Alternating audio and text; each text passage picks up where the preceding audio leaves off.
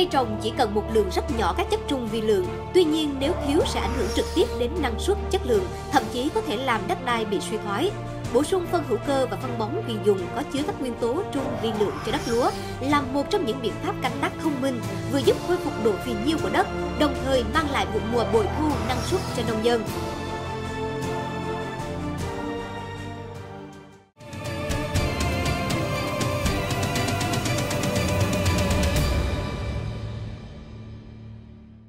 Thưa quý vị và bà con nông dân, trước đây khi mà trình độ canh tác còn lạc hậu, năng suất cây trồng thấp thì các nguyên tố dinh dưỡng đa lượng là yếu tố chính hạn chế năng suất cây trồng. Tuy nhiên trong vài năm gần đây, khi nông dân đã sử dụng đầy đủ và cân đối đạm, lân, kali thì các nguyên tố trung lượng, vi lượng lại chính là những yếu tố hạn chế năng suất cây trồng.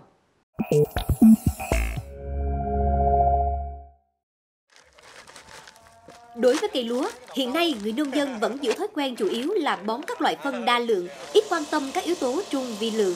Sở dĩ có điều này là do trước đây năng suất cây trồng thấp, cây sử dụng ít các chất trung vi lượng, mặt khác do trong đất còn có một lượng dự trữ đáng kể các chất này, Tuy nhiên, khi năng suất cây trồng cao, cây sử dụng ngày càng nhiều trung vi lượng hơn, nhưng do không được bón bổ sung nên trong đất ngày càng cạn kiệt và dẫn đến thiếu hụt, năng suất cây trồng không thể tăng lên mà còn giảm đi mặc dù lượng bón phân đạm, lân và kali ngày càng tăng. Khi mà làm à, sản xuất lúa thì à, cách sử dụng phân bón của tụi em là khi mà mua đại lý về mình à, phối trộn về mình trộn phân ví dụ lạnh DB kali để mình à, giải cho cây lúa nó phát triển. Nghĩa là em phối trộn khi à, giải cử đầu tiên thì à, năm lạnh 5 dB. Rồi đợt sau thì cũng phân đơn mình trộn nữa, năm lạnh 5 dB kèm thêm một số kali hoặc là 3 kali để mà cho nó cây lúa nó được cứng cáp hơn. Tùy theo cái loại đất và tùy theo lúa để mình bón cho lúa nó tốt đều.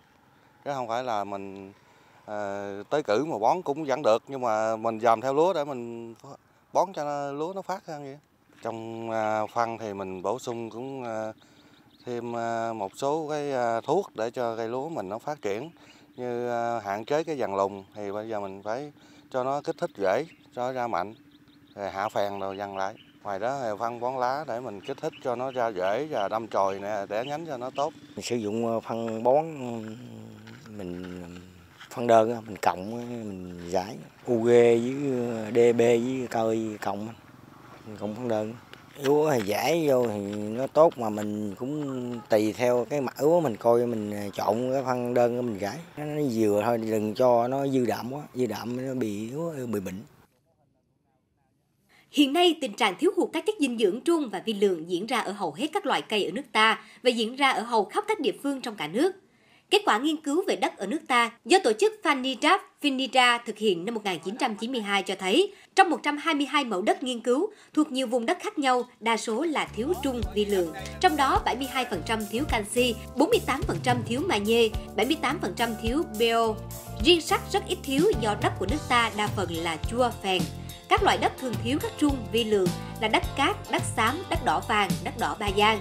Ngoài ra, những nghiên cứu khác cũng cho thấy thành phần canxi, magie và lưu huỳnh trong đất giúp làm tăng chất lượng lúa, thể hiện bằng các chỉ tiêu như độ bạc bụng, tỷ lệ gạo nguyên, hàm lượng protein và các amino acid.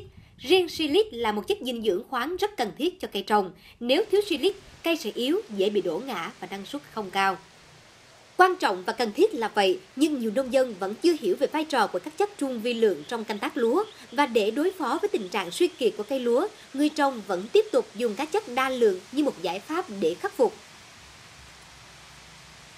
Cây lúa nó suy kiệt nhưng mà nó thiếu cái loại nào. Ví dụ nó thiếu đạm thì chúng ta phải tăng thêm đạm tí xíu. Còn nó dư đạm thì bây giờ mình phải Ờ, bớt cái lượng đạm lại, mình tăng cái lượng kali hoặc là DB lên cho lúa nó cứng cáp phát triển lại. Nếu mình giải phân mà bị suy kiệt quá đó, mình phải cộng phân bón hóa luôn cho nó phục hồi cái bộ rễ nó ra thêm. Đạm chứ đạm thì nó hơi vừa phải thôi với, với cộng với cơi ơi hơi nhiều chút. DB thì cũng vừa phải coi cái mỡ mình dễ vừa phải chứ mà đạm nhiều quá thì nó dễ bị bệnh tấn công với ờ, sâu hóa hoặc mò có tấn công nặng Theo các nhà khoa học, đối với sản xuất lúa ở vùng ngọt, nguyên nhân làm giảm độ việt của đất lúa do nhiều yếu tố, trong đó chủ yếu vẫn là canh tác độc canh ba vụ lúa trên một năm nhiều năm liên tục.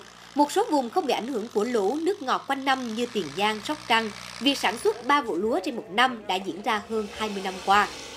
Và trong khi cây lúa lấy từ đất đến 14 nguyên tố dinh dưỡng, nhưng với tập quán cũ, người nông dân chỉ chú trọng bón phân đa lượng NPK mà quên bổ sung các thành phần trung vi lượng dẫn đến đất bị bạc màu, mất cân đối dinh dưỡng. Đất thiếu trung vi lượng và chất hữu cơ tốt khi canh tác 3 vụ lúa trên một năm trong một thời gian dài. Bên cạnh đó, biện pháp canh tác chưa phù hợp cũng góp phần khiến tình trạng đất bạc màu ngày càng trầm trọng. Cụ thể làm đất bằng cách xới cạn, trục nhận thay vì cày ải, cày vùi dẫn đến tận canh tác cạn, ruộng dễ bị ngộ độc hữu cơ. Thêm vào đó, việc ruộng thường xuyên bị ngập nước cùng với rơm rạ chưa xử lý được trục nhận vào đất khiến ngộ độc hữu cơ có thể xảy ra từ giai đoạn mạ, đẻ nhánh do rơm rạ đến làm đồng do đất bị yếm khí. Và khi tình trạng chất lượng đất bị suy giảm, nông dân trồng lúa tốn chi phí đầu tư cho phân bón và thuốc bảo vệ thực vật cho cây lúa ngày càng tăng cao. Kết quả khảo sát trong vụ lúa xuân hè tại vùng có địa hình gò đến trung bình của huyện Kế Sách, Châu Thành, tỉnh Sóc Trăng cho thấy nông dân bón lượng NPK từ 135, 65, 70 đến 165, 110, 120 kg trên 1 hecta để đạt năng suất lúa 7 tấn trên 1 hecta. Lượng phân này đã tăng 1,5 lần, trong khi năng suất không tăng so với trước đây. Trong khi đó, số lần phun thuốc bảo vệ thực vật phổ biến từ 4 đến 6 lần một vụ, cũng tăng 1,5 lần so với trước đây.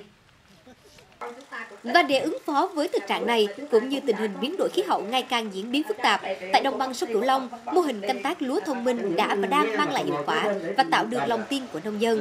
Đáng chú ý là trong đó, vai trò, tầm quan trọng của những chất trung, vi lượng đã được nông dân tìm hiểu, sử dụng, giúp nâng cao năng suất, cải tạo đất đai.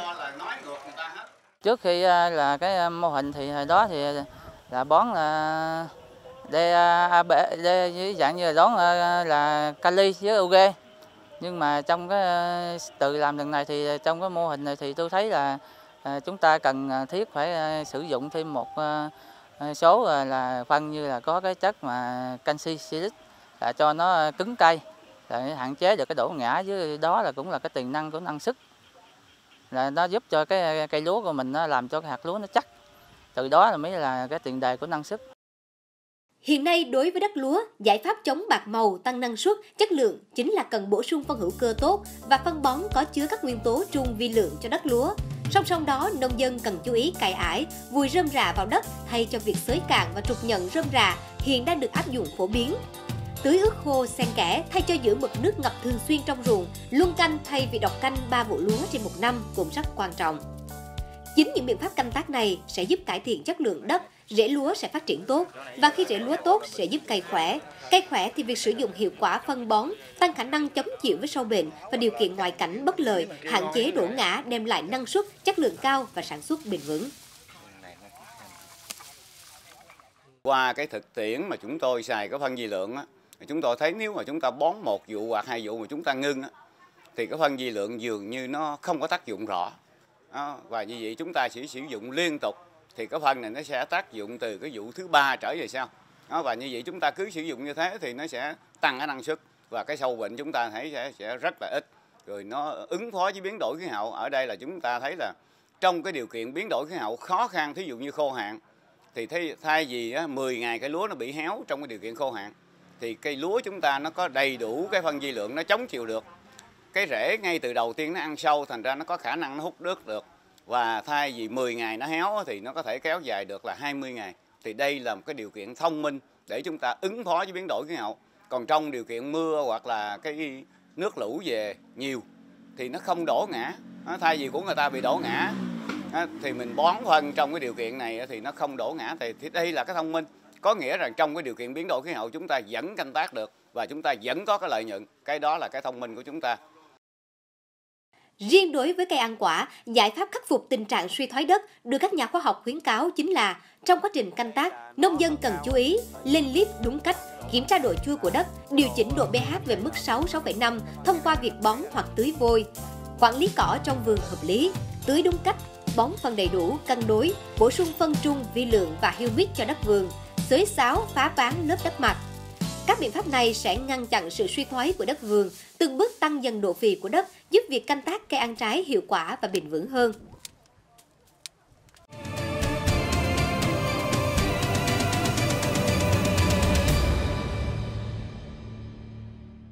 Thưa quý vị và bà con nông dân, hiện nay thì tình trạng thiếu hụt các chất dinh dưỡng trung và vi lượng diễn ra ở hầu hết các loại cây ở nước ta như là lúa, cà phê, điều, tiêu, mía, đậu phộng, cây có múi, rau màu, hoa và cây cảnh và diễn ra ở hầu khắp các địa phương trong cả nước. Để tránh tình trạng thiếu trung vi lượng, việc sử dụng các loại phân bón trung vi lượng được xem là giải pháp quan trọng và cần thiết để tăng năng suất cây trồng và tăng chất lượng nông sản, đem lại lợi nhuận cao hơn cho nhà nông. Những mảnh đất màu mỡ nhưng do sử dụng phân bón thiếu khoa học, không đúng cách, cộng với việc nước mặn xâm nhập sâu vào nội đồng vì tình hình biến đổi khí hậu gây ra đang khiến cho đất đai tại đồng bằng sông Cửu Long bị suy thoái, mất cân bằng. Việc này đã và đang ảnh hưởng trực tiếp đến quá trình canh tác lúa và đời sống của người nông dân. Bằng sông Cửu Long thì à, các cái kết quả nghiên cứu thì cũng chỉ ra một à, số cái tình trạng suy thoái. Tuy nhiên một cái hệ thống mà chính thống thì cho đến nay thì cũng chưa có cái nghiên cứu nào dài hơi bài bản. Tuy nhiên trong thực tế có thể thấy rằng là so với cách đây 20 30 năm thì ngày nay đất đai à, đồng bằng sông Cửu Long đã có cái sự chuyển biến theo hướng xấu đi nhiều. Cụ thể cái hiện tượng là ngày nay thì nông dân phải sử dụng phân bón nhiều hơn rất nhiều so với trước đây. Đó. và cái với cái mức năng suất như cũ thì cái năng lượng phân bón phải dùng nhiều hơn. Điều đó chứng tỏ là cái lượng dinh dưỡng trong đất nó cũng đã bị à, suy thoái đi nhiều. À, cái nguyên nhân thì à, nó có nhiều nguyên nhân. Thứ nhất thì có thể là do cái vấn đề canh tác. À, chúng ta cứ sử dụng cái thâm canh nông dân sử dụng thâm canh tăng vụ nhiều. Điều đó cũng là một trong nguyên nhân làm cho đất suy thoái. À, cái thứ hai là cái nguồn nước nguồn phù sa trong ờ, vài năm gần đây nó cũng có cái hạn chế. À, điều đó nó cũng giảm đi cái cái độ màu mỡ của đất. À, thứ ba thì ờ, so với trước đây thì những cái vùng ờ, đất xấu đất phèn đất à, mặn nó chưa được khai thác và nó chưa có liên thông với bên ngoài. Thì ngày nay thì khai thác những cái vùng đất đó và cái sự liên thông về thủy lợi nước ở cái vùng đó có thể nó ra ngoài nữa nó cũng ảnh hưởng đến những vùng khác. Một vấn đề nữa là làm tác động suy thoái đó là cái việc bón phân sử dụng phân bón của nông dân nó không cân đối nó mất cân đối cho nên là có những chất thì có thể thừa nhưng mà nhiều chất trong đất bị suy thoái bị mất đi. Chẳng hạn như là đất à, các chất trung lượng vi lượng đã bị thiếu rất nhiều so với trước đây. À, rồi thì à, vấn đề là biến đổi khí hậu à, nước mặn dâng và xâm nhập sâu vào trong nội đồng từ đó nó cũng làm cho cái đất một vùng số vùng đất nó bị suy thoái đi. À, một cái điểm nó tác động nguyên nhân nữa là do vấn đề chúng ta sử dụng cái lượng thuốc trừ sâu quá nhiều. À, điều này cho làm cho cái vi sinh vật có lợi trong đất nó bị tiêu diệt đi, hạn chế đi rất nhiều. À, chẳng hạn như là thuốc trừ ốc biêu vàng, thuốc trừ nấm, trừ bệnh. Thì cái dữ liệu, cái số liệu thuốc trừ bảo vệ thực vật hàng năm nhập vào Việt Nam tăng lên rất nhanh. À, nó làm cho cái sử dụng của bà con tăng lên rất nhiều, à, làm cho cái đất chúng ta vi sinh vật có lợi trong đất giúp cho đất tơi xốp thì nó bị giảm đi rất nhiều thì đó là những cái nguyên nhân à, cơ bản làm cho cái đất chúng ta bị suy thoái đi so với trước đây là khá nhiều áp lực về năng suất sản lượng đang khiến đất nông nghiệp tại Việt Nam bị khai thác quá mức trong khi không được bồi bổ, không đủ thời gian nghỉ dưỡng, khiến thoái hóa đất ngày một trầm trọng. Sử dụng các loại phân bón trung vi lượng được xem là giải pháp quan trọng và cần thiết để tăng năng suất cây trồng và tăng chất lượng nông sản, đem lại lợi nhuận cao hơn cho nhà nông. Về cái giải pháp thì à, theo tôi thì à, đối với những vùng mà chúng ta có thể luôn canh hoặc xen canh được thì bà con nên thay đổi để mà luôn canh à, xen canh cái đất của chúng ta cho nó có thời gian nghỉ ngơi và nó thay đổi cái cây trồng và nó làm cho cái đất chúng ta tơi xốp trở lại. Cái vấn đề thứ hai đối với những cái, cái vùng đất mà mà có điều kiện thì bà con phải sử dụng các cái phân hữu cơ để cho đất tơi xốp cải tạo được cái đất của mình. Thứ ba là sử dụng phân bón phải cân đối hợp lý kết hợp với ờ, sử dụng ờ, thuốc bảo vệ thực vật. Hợp lý. À, đừng có lạm dụng thuốc bảo vệ thực vật. À, làm cho vi sinh vật có có lợi nó bị chết đi. Cũng như là sử dụng phân bón phải cân đối. Cân đối ở đây nó có bốn đúng. À, tức là chúng ta phải bón đúng loại phân đúng lượng phân à, đúng thời kỳ và đúng phương pháp.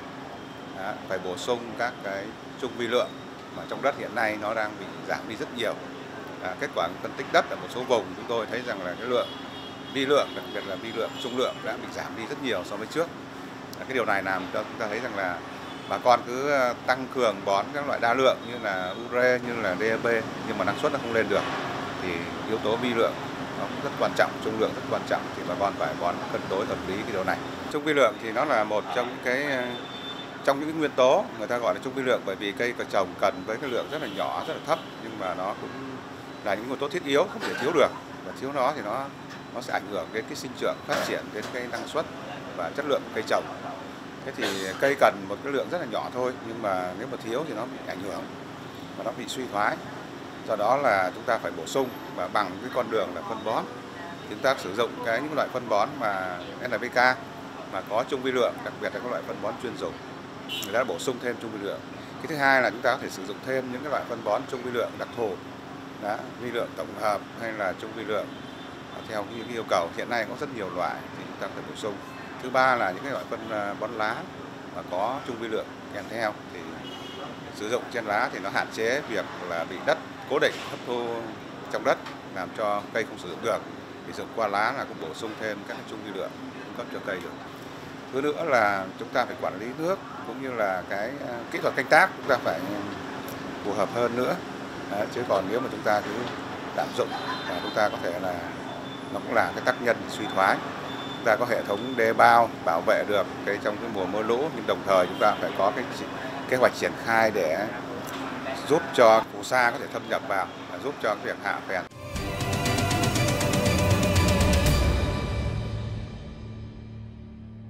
Thưa quý vị và bà con nông dân, qua các kỳ phát sóng mỗi tháng, Ban cố vấn, ban biên tập chuyên mục canh tác thông minh sẽ bình chọn ra một đề tài hay, cách làm mới của nông dân, có tính ứng dụng hiệu quả cao trong điều kiện ảnh hưởng của biến đổi khí hậu để khen thưởng. Chúng tôi rất mong nhận được đề xuất của quý vị và bà con về các mô hình mới hay trong nông nghiệp. Mọi thư từ và góp ý, bà con hãy gửi về cho chúng tôi theo hộp thư canh tác thông minh vtv9avong@gmail.com hoặc tổng đài 1900 1773. Cảm ơn quý vị và bà con đã theo dõi chương trình và chúng tôi cũng xin được chân thành cảm ơn công ty cổ phần phân bón Bình Điền đã đồng hành cùng với chương trình. Xin kính chào tạm biệt quý vị. Để giảm thiểu tác hại của khô hạn và thích ứng với biến đổi khí hậu như hiện nay, việc sản xuất hồ tiêu cần được áp dụng đồng bộ các giải pháp kỹ thuật như là trồng trụ sống cho tiêu bám, tưới nước tiết kiệm kết hợp với bón phân, đây chính là những giải pháp kỹ thuật chính mà người nông dân cần phải thực hiện một cách chặt chẽ trong tình hình biến đổi khí hậu như hiện nay. Nội dung cụ thể sẽ có trong chương trình canh tác thông minh tuần tới.